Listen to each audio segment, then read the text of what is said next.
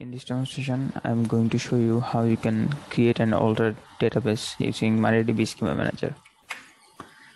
So uh, for MariaDB Schema Manager, first of all, we have to have a MariaDB server. And obviously inside that server, we are going to create the database. And also, uh, as you know that uh, Schema Manager uses Vault, KubeVault under the hood to manage the users we also need to have a vault server running in our cluster. So you can see the vault server YAML and the uh, MariaDB database server YAML uh, in the screen. And we have to mention these two uh, in these sections, one for the database.server ref and another in the vault ref.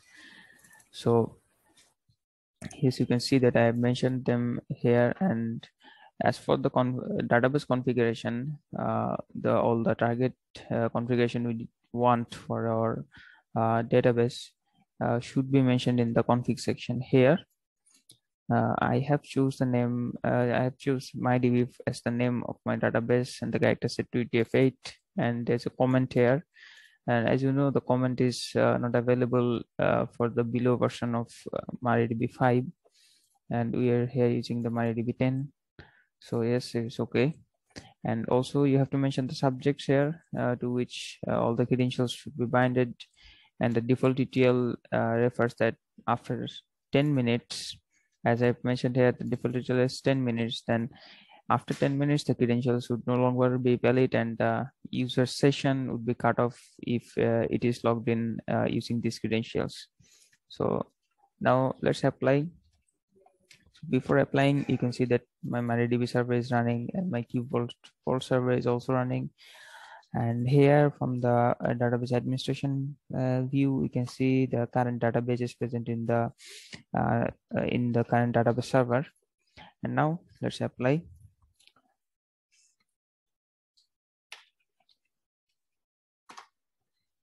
Uh, so you can see that uh, the schema manager YAML has been deployed and uh, MyDB should be created.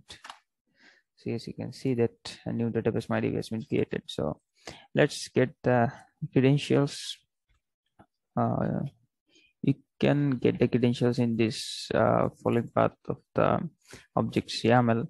So uh, I have used the view secret uh, extension. Uh, if you don't have this, you can grab the YAML of the of this secret and uh, just base64 decode it.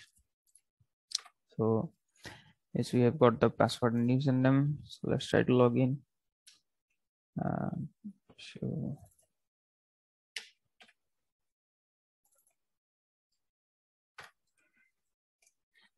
yeah mm, let's see the databases. We can see that we have mydb uh, here and let's use mydb uh, show tables you can see that there's no table here. Let's create one. Create table okay. Create table random. varchar age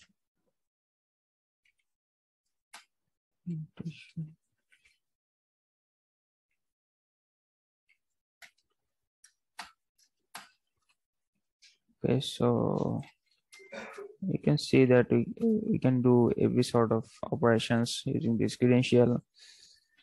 And now uh, we'll try to alter the database. And before altering let's see the conf current configuration. So show create database mydb so you can see the current configuration as uh, the character set to UTF-8 and the comment is set to hello all. So let's uh, let's alter the character set to big five. So you can see uh, now let's apply the YAML. You can see that this is configured here and now if you see that yes the character set has been altered so you can also alter the comment as well and everything that is uh, configurable or alterable as for the doc size of MariaDB, you can uh, alter everything using the MariaDB uh, using the MariaDB schema manager. So uh, this is how you can create and alter your database using MariaDB schema manager. Thank you.